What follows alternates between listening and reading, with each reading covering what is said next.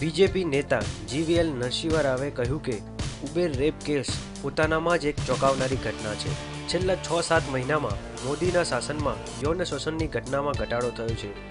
નરસિંહ રાવે કહ્યું કે, બધી સિસ્ટમને તેમની જગ્યાએ રાખવાની જરૂર છે અને એ પણ સુનિશ્ચિત કરાવવું પડશે કે બધા આરોપીઓને સજા આપવામાં આવે.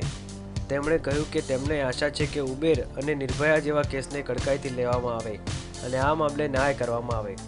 તેમણે કહ્યું કે તેમને આ વાતની આશા છે કે ઉબેર રેપ કેસમાં ઝડપથી ન્યાય મળશે I think um, uh, the- certainly the incidents uh, of uh, uh, in, uh, the incidents of uh, women's security, I think have reduced in the last uh, six seven months. I think in the uh, after our government has been formed at the center, I think this incidence has reduced greatly.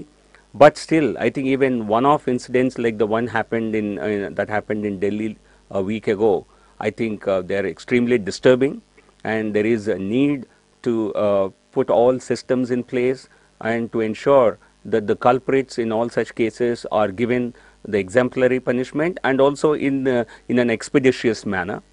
Uh, I'm sure the Delhi police has taken this case uh, uh, seriously and they will ensure a speedy sort of investigation and and also the courts will also I, I hope that the courts will conduct this trial very quickly on a fast track basis and ensure um, justice is done to the victim.